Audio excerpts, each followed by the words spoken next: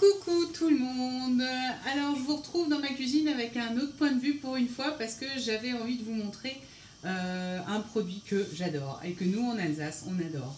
Alors dans le catalogue actuellement vous allez pouvoir enfin le retrouver mais c'est la version étroite euh, que, vous allez pouvoir retrouver sur le catalogue national. Nous en Alsace on a euh, cette particularité d'avoir la grande version qui va s'adapter sur euh, plusieurs tailles de casseroles grâce aux crans qui sont ici.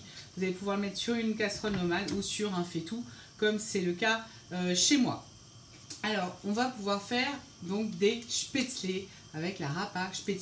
Les spätzle, pour celles qui ne connaissent pas, ce sont ces petites pâtes alsaciennes que nous on raffole et depuis que moi j'ai découvert la à spätzle, je me demande pourquoi je n'ai pas commencé plutôt à les faire moi-même et que je les ai achetés aussi longtemps. Surtout que c'est pas donné dans le commerce et que ça prend un temps express à faire et ça je vais vous le montrer tout de suite. Alors pour pas conduire très longtemps, j'ai mis 400 g de farine. Euh, alors chez nous on trouve de la farine spéciale Spätzle, mais vous prenez une farine traditionnelle. Vous prenez 3 œufs que j'ai préalablement battus. Personnellement, je ne mets pas de sel dans la préparation parce que je mets du gros sel dans l'eau euh, de cuisson. J'ai mélangé ici 100 ml d'eau et euh, allez, 150 ml de lait. Hop, on mélange le tout dans le saladier. Je prends mon fouet métallique. Parce que quand même quand on utilise euh, une préparation à base de farine, c'est quand même le meilleur qui soit. Après vous adaptez, hein, si c'est pas assez liquide, trop liquide, je vais vous montrer la préparation idéale. Il faut bien la fouetter, on dit chez nous.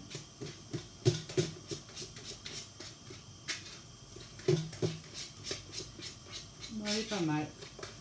Elle va pas avoir besoin de plus. Voilà, la pâte à elle est prête. Donc c'est pour vous dire à quel point c'est effectivement hyper rapide à préparer.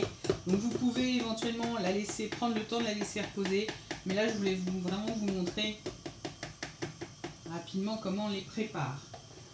Ensuite, eh bien, on va prendre notre râpe à Mon eau, elle bout. Donc, je la mets simplement dessus. Et je vais prendre ma pâte que je vais directement verser. Verser, je vais quand même pour euh, prendre ma spatule.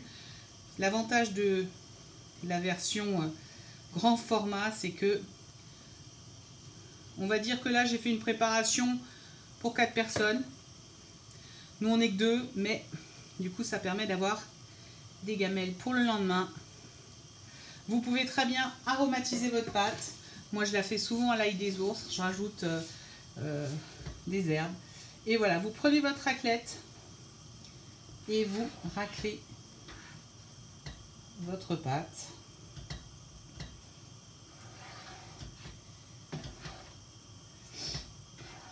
Vous allez voir, en fait, ça va se plonger dans l'eau bouillante. Et à partir du moment où elles vont remonter à la surface, ça voudra dire que les pâtes sont cuites. Donc il faudra les sortir, c'est ce que j'ai oublié de faire, et les mettre dans un euh, saladier d'eau froide. Donc euh, je vais faire ça tout de suite après pour stopper la cuisson. Et dans l'idéal, juste avant de manger, juste avant de passer à table, vous les poêlez avec un peu de beurre. C'est juste, voilà, c'est simple comme bonjour. On est à 3 minutes 48. C'est vraiment la, vidéo qui va vous prouver euh, la rapidité de, cette recette. Vous pouvez également les faire en gratin. Je les, fait, je ai aussi un jour aromatisés avec la poudre de curry pour lui donner un petit peu de goût. Voilà, c'est fait. Et là maintenant, vous voyez, elles sont déjà remontées à la surface. Je mélange un peu pour pas qu'elles ne se collent ensemble. Et on va chercher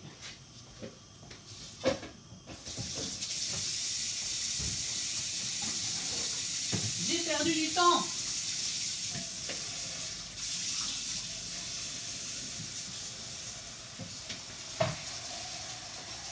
On va prendre notre euh, cuillère égouttoir. Voilà.